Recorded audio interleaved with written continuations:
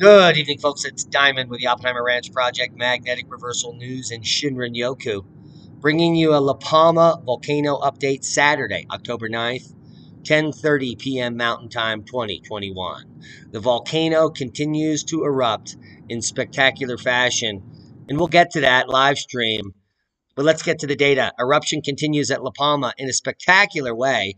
The last report we had showed increased seismicity, which led to increased output, increased lava flow, increased ash flow in the last 24 to 36 hours have moved the second lava stream down towards the ocean. Now, volcanic lava in Spain's La Palma engulfs more houses and land today. Four new structures destroyed, and you can just see some of the devastating lava rivers right next to gorgeous villas and homes like the one pictured there. And another lava stream is now reaching the ocean. Now, lightning flashes over La Palma also occurring because of the ionization happening by the output from the volcano. The red hot eruption from the volcano on the Spanish island of La Palma was accompanied by flashes of lightning earlier on Saturday. A study published in 2016 by the Journal of Geophysical Research Letters found lightning can be produced during volcanic eruptions because of the collision of ash particles creating an electric charge. It is an electric universe after all, isn't it? Now, here are the two flows as of yesterday. The second flow has gone over the cliff and is now inundating the fields of a local farmer.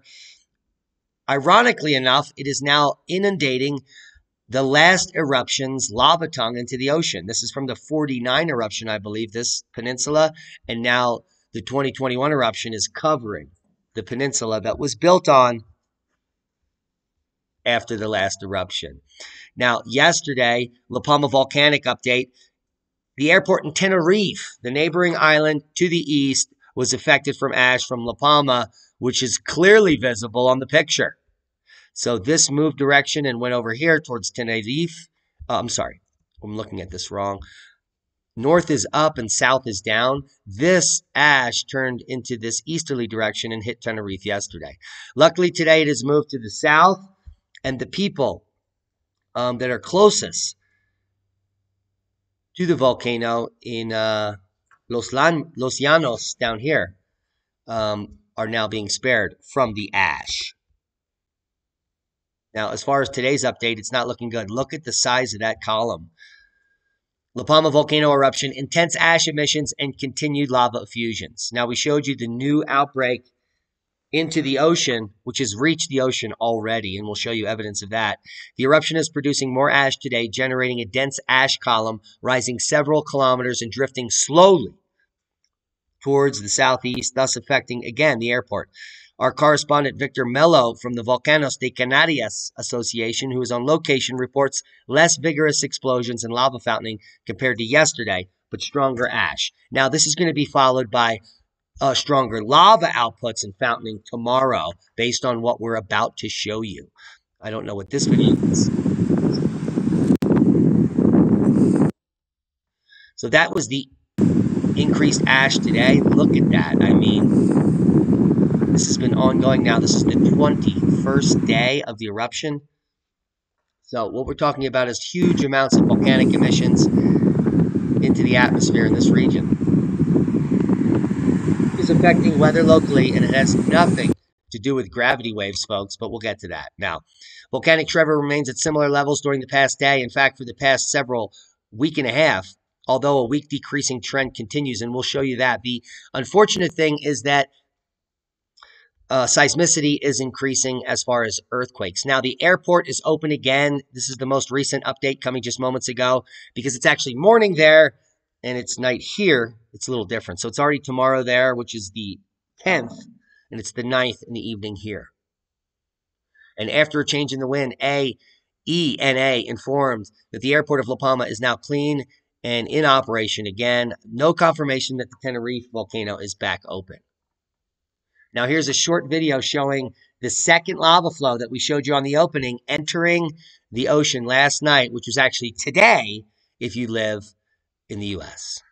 Isn't that weird? Yeah, I know.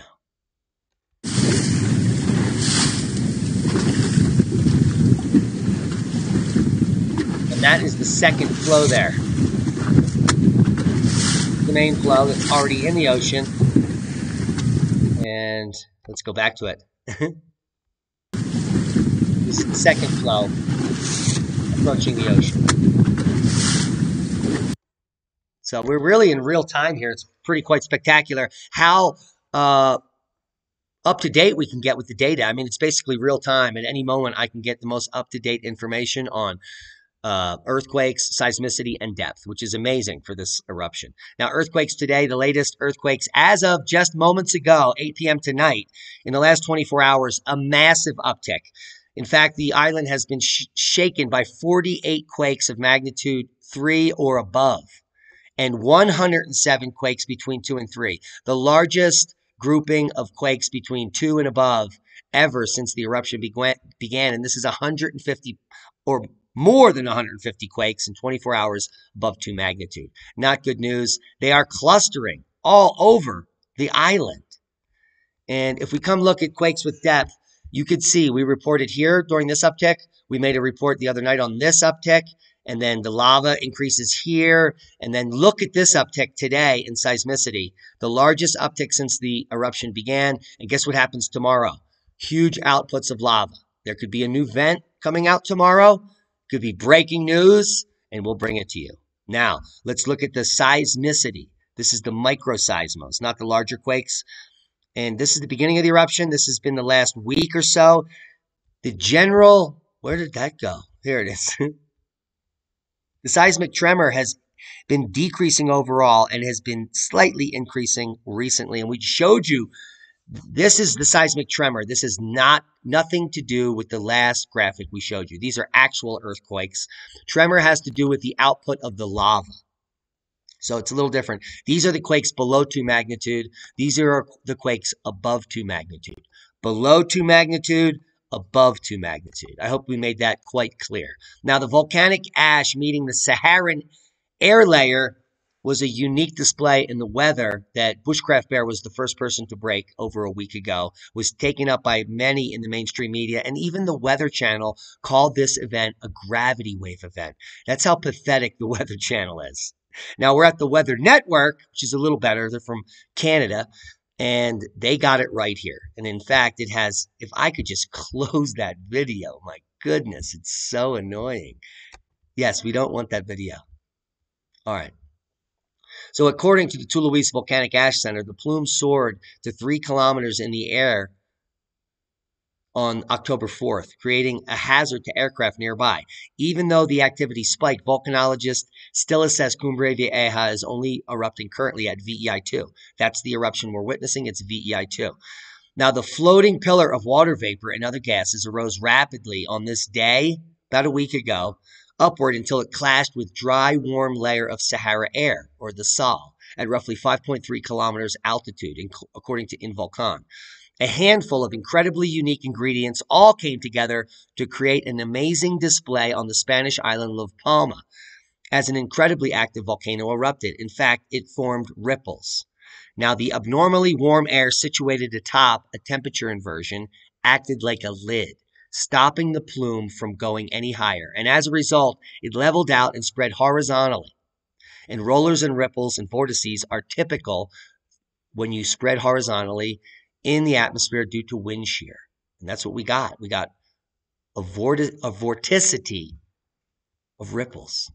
Absolutely fantastic. Now, here we are back live at the volcano. Let's check it out. Let's see how well, quite spectacular. Look at the pressure. It's blowing lava and rocks over a kilometer into the sky, and they're falling out here. So this is completely deadly if you're within a kilometer of this. At any point, a huge rock could hit you on the head, and you'd be dead.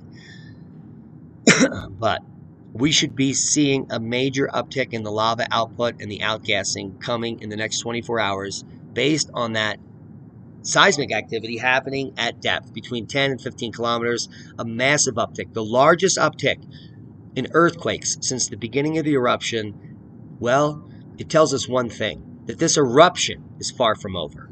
We have a lot more reporting to do on it, and this volcano is simply evolving in real time as we report on it before your very lives. Hope you got something out of the video.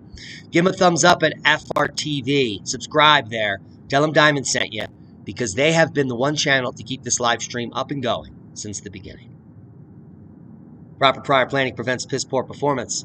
In a dystopian world where the mainstream won't pick this up, but we, over at Magnetic Reversal News, we certainly will put it down. If you don't know about our other channel, Oppenheimer Ranch Project, we will have a link below in the first in the description box and in the comments. You should become a subscriber there too, where we share pertinent similar information. Did I tell you we love each and every one of you? Subscribe to the channel if you haven't. Share this with like-minded people and be a hero. Become a Patreon. Support the work we do.